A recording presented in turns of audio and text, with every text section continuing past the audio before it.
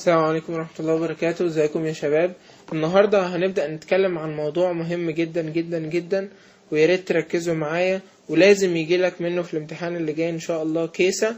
هوريكم ال cases بتاعته بتيجي إزاي ولكن هحاول أشرح لكم بسرعة الحاجات المهمة فيه ونفهمه مع بعض كده وبعدين هوريكم ال cases. واحتمال إن شاء الله أعمل لكم example حتى عن الامتحان اللي جاي بإذن الله. الموضوع بتاعنا bleeding in early pregnancy. وكل كلمة من دول لازم تفسرها. عشان تبقى شاطر لازم كل حاجة بتذاكرها تفهمها. وتفهمها بطريقة simple. تفهمها بطريقة آه تفتكرها دايما. اوعى تحفظ حاجة انت مش فاهمها. هتنساها شور هتنساها. وما نسيتهاش دلوقتي وحفظتها عشان الامتحان مسيرك لما تكبر تنساها. طيب bleeding يعني دم. bleeding يعني دم. من ال genital tract هيطلع عند ال female. طيب in early pregnancy. early يعني في الشهور الأولى من الحمل. في الشهور الأولى من الحمل. يعني في ال first trimester ممكن نقول في ال second trimester و pregnancy يبقى بناء على كلمة pregnancy ال female دي عندها positive beta hCG يعني حامل. ده مؤشر من مؤشرات الحمل. أو حتى عندها pregnancy شا pregnancy sac أنا شفتها ب transvaginal أو transabdominal ultrasound يبقى bleeding in early pregnancy يبقى في الأسابيع الأولى لما لما تجيلي case ة أبص على الأسابيع وأبص على إنها حامل فعلا ولا مش حامل.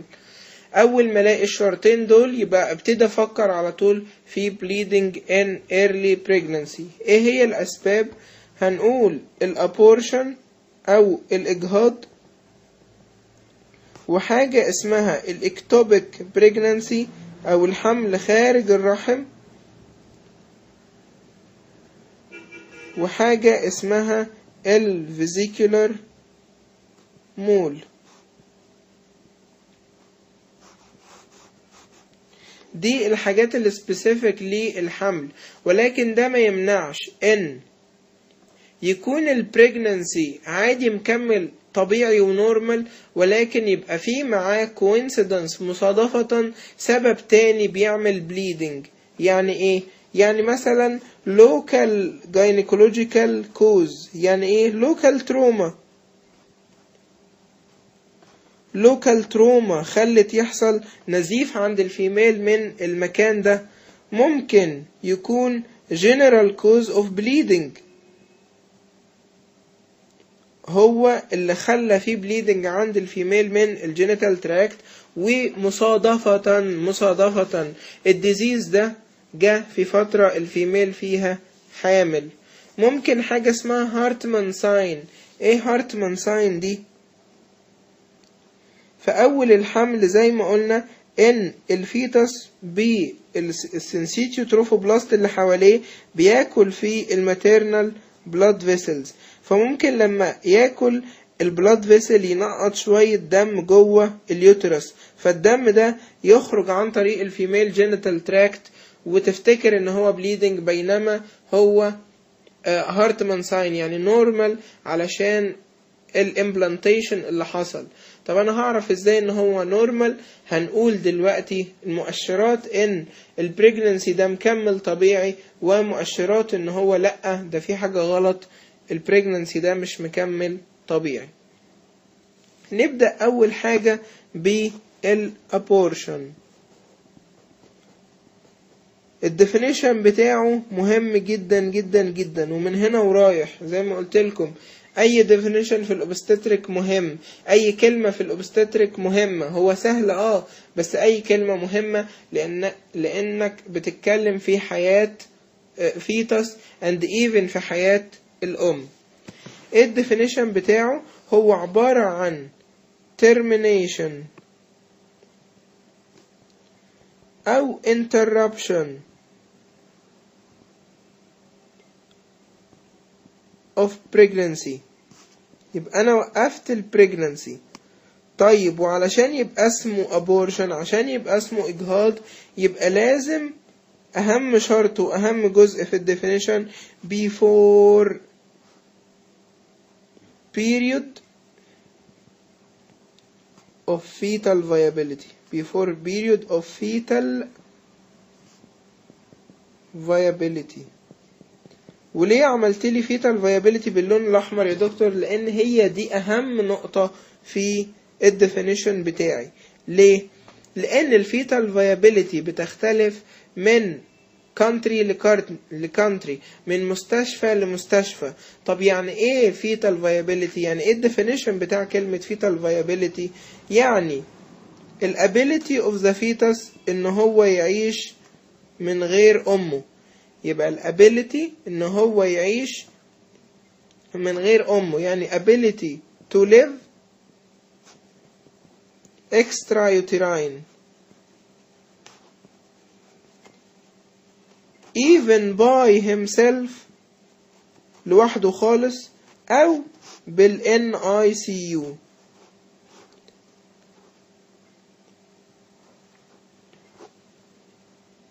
يبقى ده كده الديفينيشن بتاع ال abortion طيب لما حاولوا يحسبوا ال period دي لقوها إنها في ال developed countries علشان ال NICU متقدمة عندهم عند العشرين أسبوع عند الأسبوع العشرين وفي ال developing countries عند التمانية وعشرين أسبوع. لأن ال NICU في ال developing countries مش متقدمة قوي طيب عندنا في الدمرداش نقول أنهي رقم؟ نقول ال developed الرقم ال developed لأن مستشفى الدمرداش عندنا تعد من أقوى المستشفيات على مستوى الشرق الأوسط في النساء.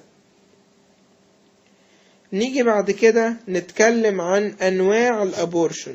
ال abortion بيتقسم لنوعين كبار جدا. نوع spontaneous.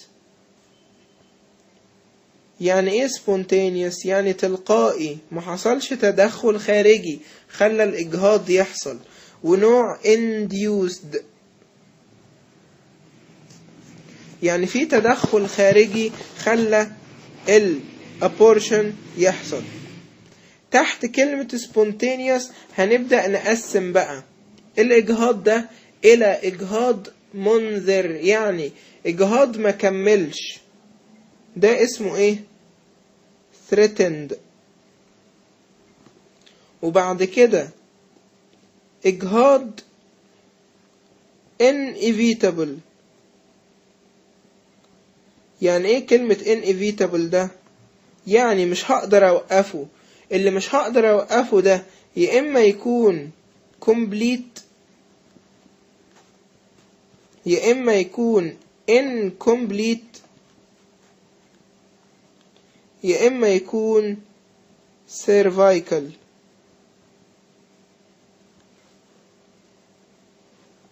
يعني إيه complete و incomplete و cervical دي يا دكتور؟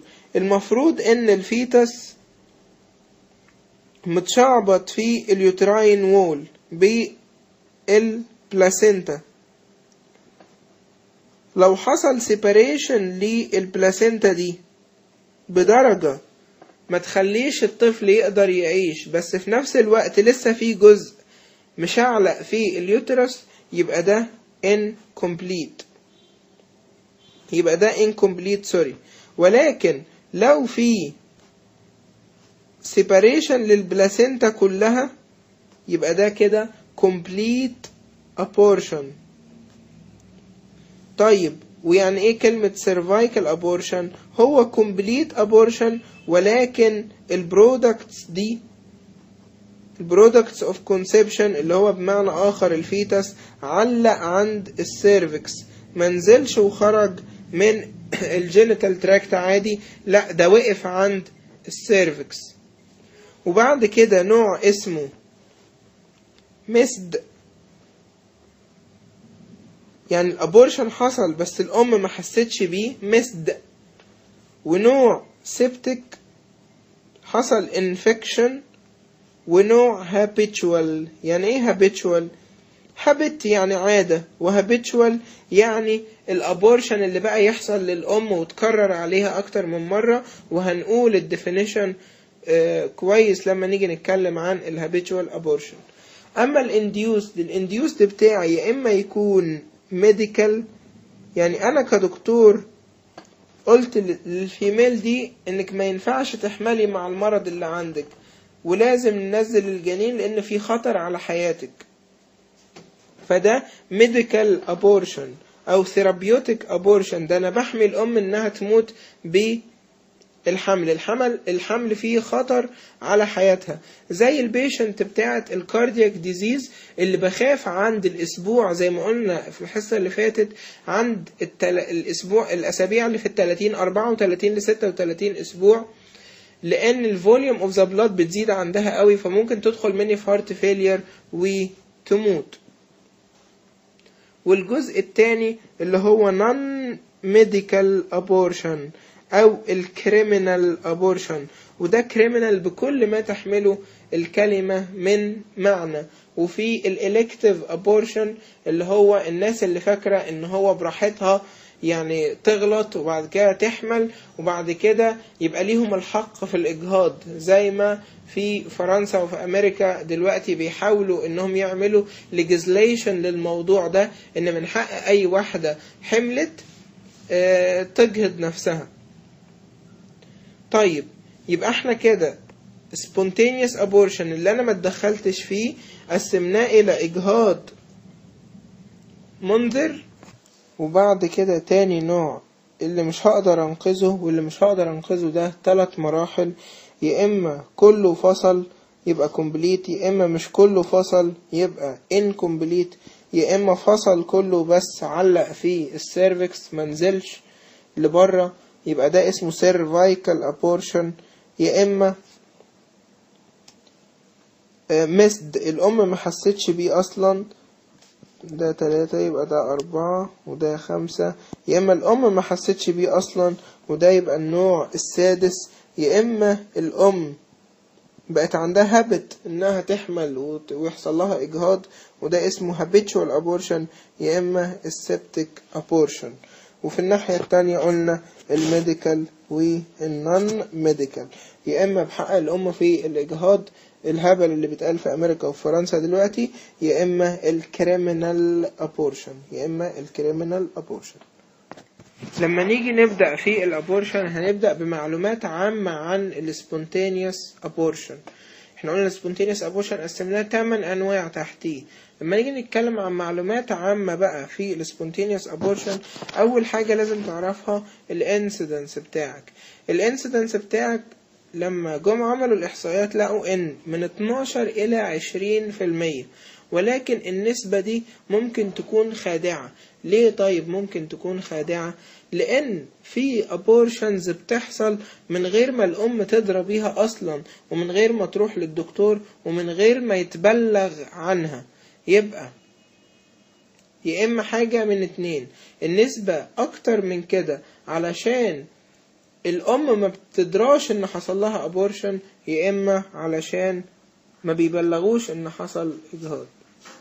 يبقى كده عرفنا أول معلومة إن الانسيدنس اللي إحنا عارفينها اللي هي من 12 ل 20 في المية قد تكون أقل من الواقعي أو الحقيقي يا إما عشان الأم ما عرفتش أصلا إن هو حصل لها إجهاض يا إما ما بلغتش وما راحتش ليه المستشفى أو الإحصائيات ما قدرتش تجيب نسبة كبيرة من ال females اللي حصل لهم abortion المعلومة التانية إنه بيحصل في أنهي وقت أكتر. بيحصل في ال first trimester أكتر. يعني أنا لو قسمت الحمل ل تلات تتلات كل تلت بسميه trimester يعني first trimester second trimester و third trimester وال trimester الواحد بيبقى 13 أسبوع. طيب فين في ال first trimester يا دكتور؟ غالبا عند الشهر الثالث ال third month وأكيد ليها تفسير. آه هقولك ليها تفسير. لأن زي ما إحنا عارفين في فترة ال corpus luteum of pregnancy هو اللي بيشتغل فيها وبيطلع لي ال hormones وبعد ال corpus luteum ال placenta بتيجي تكمل. طيب معنى كده إن في فترة الاتنين في ما بينهم overlapping. يعني لو ال placenta اتأخرت في إنها تبقى mature أو ال corpus luteum حصل له degeneration بدري هيبقى في فترة مفيش فيها hormones عشان كده الفترة دي ممكن يحصل بيها abortion ممكن يحصل فيها abortion بنسبة كبيرة. ال- ال- الشباك ده اسمه ال window gap. وبكده تبقى دي تاني كلمة ويندو جاب خدناها في المنهج. بعد اللي خدناها الحصة اللي فاتت اللي هي الفترة ما بين positive beta HCG and visualization of pregnancy sac by the transvaginal ultrasound. لما جم يدوروا على الأسباب ويعملوا إحصائيات عشان يشوفوا إيه أكتر أسباب الإجهاض اللي بتحصل دي قسموها لحاجتين أو أنت لازم تقسمها لحاجتين. يا إما ال fetus فيه مشكلة فنزل يا إما الأم هي اللي فيها المشكلة ما ملهاش حل تالت. يا إما ال fetus يا إما الأم. نيجي للأسباب ال fetal. لقوا إن أكتر حاجة هي ال congenital fetal malformation ده commonest cause of abortion وده من رحمة ربنا سبحانه وتعالى بالأب والأم. فبدل ما يجي لهم طفل مشوه وطفل ممكن ما يقدروش يستحملوا الابتلاء بال fetal malformation اللي فيه فبيحصل له إجهاض. فده من رحمة ربنا سبحانه وتعالى ومحدش يزعل من حاجة ربنا كتبها عليه. ده بيمثل من خمسين إلى ستين في المية وغالبا مش هيكمل. يعني إيه غالبا مش هيكمل؟ يعني غالبا رحمة ربنا بت بتخلي الطفل ده ينزل في أول شهور الحمل خالص. First trimesteric abortion. ده بيمثل خمسين لستين في المية من ال first trimester طيب أكتر سبب من ال congenital fetal malformation هي ال trisomy. وده سؤال MCQ مهم. ال trisomy. وبعد كده ال polyploidy وبعد ال polyploidy ال monosomy. يبقى ال trisomy هو أكتر سبب وده سؤال MCQ مهم. تيجي بعد كده ال maternal causes وال maternal causes تقسمها لأسباب جنرال وأسباب local. local يعني إيه؟ يعني في البيت اللي عايش فيه الجنين اللي هو الإيه؟ ال uterus.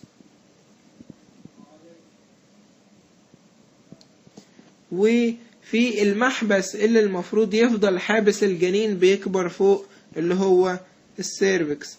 أو لو أنا قلت لك uterus بس تغنيني عن إن أنا أقول لك uterus و cervix لأن كلمة uterus معناها body و cervix وأوعى تفصل ما بينهم في أي حاجة.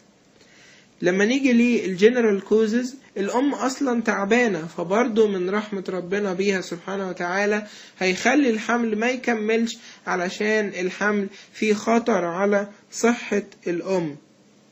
ممكن إيه الأسباب؟ ممكن يكون عندها chronic hypertension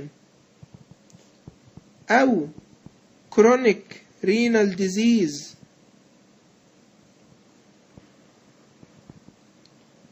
أو عندها endocrinal disturbances. زي إيه الاندوكراينال disturbances زي أعداء المرأة اللي إحنا قلنا عليهم اللي هو أندروجين زيادة. عندها أندروجين زيادة والأندروجين ده عدو من أعداء المرأة مش هيخليها تكمل حمل. ممكن diabetes mellitus ممكن hypo أو hyperthyroidism كل دي diseases بتأثر على الأم. ممكن يكون حصل infection وال infections زي ما إحنا خدناها في البكتيريا الحاجات اللي بتتنقل للطفل هي متلخصة في كلمة STORCH S T O R C H. STORCH دي اختصار لإيه؟